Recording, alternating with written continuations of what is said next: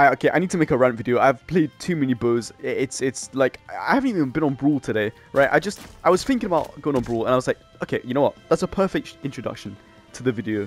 That is a you, you did you saw that correctly. You did see that right. Don't worry, don't worry. Your eyes weren't weren't deceiving you or anything. Right? Let's, let's go back. Let's go back. Let's, let's see what just happened. Right? Let's let's take a look. Okay, so you see this, right? I I've never labbed bow in my life right? I've never done anything like that. I've never labbed a bow. I've never, I've, I've never like practiced this combo ever. I've just hopped into training room, pressed record, and look at this, right? D-light, dare, and light there. True combo. Four piece, true combo. People will complain about Gaunts. People will complain about old blasters having like four hits, three hits, saying it was completely game breaking, needs to be taken out. Um, and bow players will complain about Gaunt say three hits too much. You have a 4 hit you come on this weapon. You only need six decks too. It's not like it's not just because I'm on Koji and I'm on like hundred decks, right? That's not like the, the thing that makes this work. It, you only need six decks? and yeah, granted it only works at zero to da uh, zero damage even. But how hard is it to hit a D? Like, hmm, I don't think it's very hard. I can't lie. I think this move is probably one of the easiest moves to hit in the entire game, right? And you get a four-piece true combo out of it. Okay, and like people will say, if you bring this combo up to people, right? Uh, or. You bring this combo up to Bowmains, they say, "Oh nah, you, you you'll never hit that in the game, right? That's that's just you just you're reaching, you're reaching for obscure, um, you know, combos and stuff." And then you know they'll say about Scythe, "Oh wait, people say Scythe doesn't have uh, combos, but if you hit it there from precisely 500 pixels up uh, above the stage, and then you do um, a GCD light at precisely the right millisecond, that's a true combo. How can you say you don't have true combos? yeah, I know. Uh, Scythe, it must be a broken weapon. B Bowmains, Bowmains are on a different planet, right? This this weapon is tapped. Everything about this weapon is tapped. Okay, so D-Light, let's look at hitboxes, okay? D-Light, if the if the 100 little mini hitboxes during the massive arrow weren't enough, there's a, humongous splash at the end. That that hitbox is the size of some SIGs, okay? Alright, anyway. We don't need to speak about it. What we need to speak about is the fact that true combos out of everything. Uh, Sair, true combo. Nlight, true combo. Um, Nlight Nair is actually true. Oh, well, I mean, I guess, I guess maybe not, maybe not at this stage, but Nlight, true combo, right? Recovery, true combo. Uh, well, at later helps anyway. Dair, true combo. Uh, Dair, Nlight, true combo. How come a weapon, right, which plays neutral for you, because neutral is played for you on this weapon, you don't need to, like, like neutral is the hardest part of Brawl, and the hardest part of any fighting game ever, right? Like, that is what the fighting games boil down to, uh, ultimately, is neutral game, right? Like, who gets the first hit? How do you manage to get that first hit?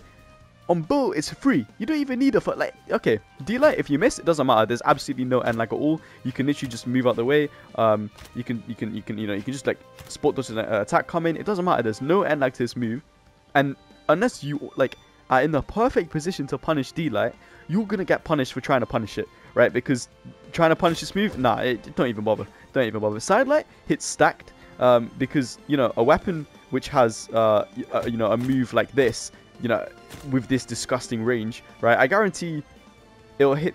Do you think it'll hit this J on from here, right? Do you think D-Light will hit the J on from here?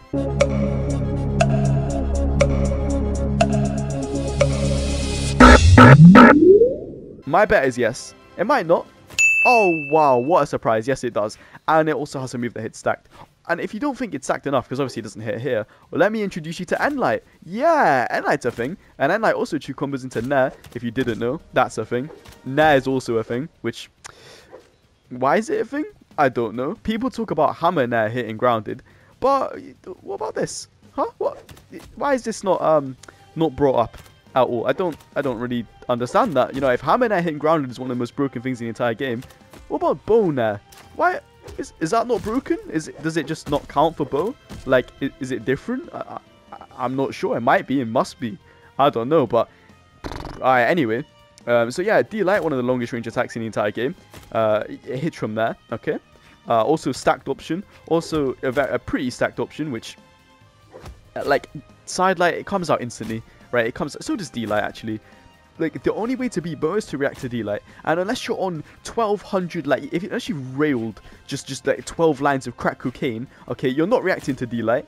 Absolutely never. Okay, side light it comes out like frame one, same as hammer and light. Uh, bow and light also comes out instantly and has technically okay, because of the way hitboxes work in Brawl, has the biggest hitbox. Okay, can we just please, please, please look at this? Can we look at this? Has the biggest hitbox in all of Brawl.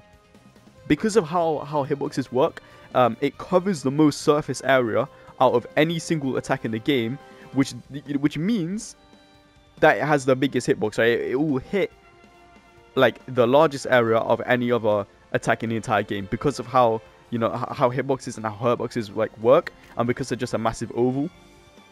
Um, like if any part of that oval touches any part of those like other circles going up, it's done now. You're getting hit by it. If it was a line, it wouldn't be as bad. I think. Like I, I read, I read a whole post about it, but um, yeah, this is the biggest um hitbox in the entire game.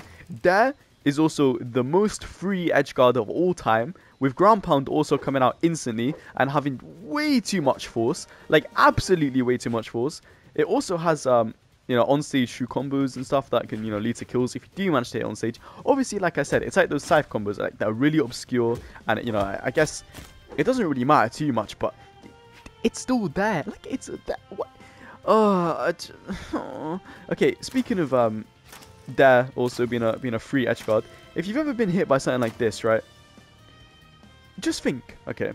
If you're following a bow player up to stage, say you're playing Scythe and you're behind this this sweaty Koji right now, okay?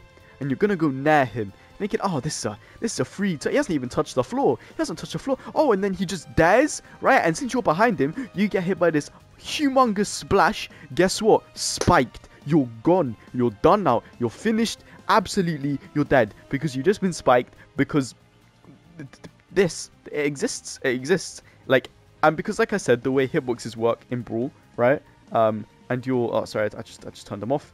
Uh, but uh, yeah, because of the way hitboxes and stuff work, why am I frozen? But, right, anyway, if like you can you can get hit by this without have okay maybe not like that, but if you hit it really grounded, like I like I already showed you, um, you can get hit by that and just die without having even touched the wall. Okay, well that's not a good example. But like I said, I'm not a bow player, right? So it, you know, if you master this stuff, how do you lose a game? Right? Because also the fact that so D-light, okay? How do you avoid D-light? You jump. Right, okay, like okay, any other weapon in the entire game. If we go to if we go to uh do we have um do we have a, a little a little blasters a little blasters section? Okay. So where can blasters not hit on the ground? Right, where can it it's I think it's pretty obvious. It can't hit above it. Okay, so you you can approach blasters not safely because it can jump there, but with a relative safety from the uh, from the air. So you just jump over these attacks, okay? That's the counterplay. Fair enough, that's how fighting games work. Rock, paper, scissors, there's some counterplay to everything. Uh, Scythe, um, it can't hit directly uh, above or directly below it. It has anti-air diagonally, you know, it has anti-air, I mean, no, sorry, it has like aerial attacks um, diagonally down, but if you're below a Scythe player, like, there's nothing they can do, right? Or if you're directly above a Scythe player, nothing they can do. Um, sword also, no aerial attack, um, they can jump there, sure, like blasters, but relative safety once again. Okay, now let's look at bow. Let's look at bow dead zones. So we have a move that hits from here, literally from there, okay? We have a move that hits stacked, we have a move that hits, you know, frame one pretty much stacked. Alright, so how do you attack the weapon? Yeah, you don't. Yeah, yeah you, you don't. Um, you might have been thinking for a second, wait, how do you attack? Yeah, you know, you don't attack bow. You wait for them to miss and you punish because you can't engage on this weapon. Because if a bow player is playing the weapon properly, yeah, no, it doesn't even matter. Like, it doesn't matter what you do, you're dead. Um, so, okay, right, you, you try and jump in to avoid the, the, the D lights or the side lights um, or whatever. You try and you try and jump, right? And light, and light, and light, and like uh, and like nah maybe you know? If you feel, if you want to spice it up a bit if you want to get really really fun if you want to get really creative um you could you could end like nah yes it's not it's not it's not entertaining. Anyway riveting. But um yeah you can't engage like that. So you might think okay let me avoid this you know biggest hitbox in the entire game. Let me try and approach him all the way up here. Oh well now you've just been nared um uh, uh what do you do? What do you do? You can't do anything. You can't do anything. Yeah, even when the blue player is off stage in disadvantaged state, right? You know they're at disadvantage. Um, you might think, okay, maybe I attack uh through the um, you know, maybe I maybe I set up a little edge guard. Maybe I D-light on Scythe or I, I do something like that. Okay, so what happens in that situation? oh yeah, you get hit by the dumbest hitbox in the entire game.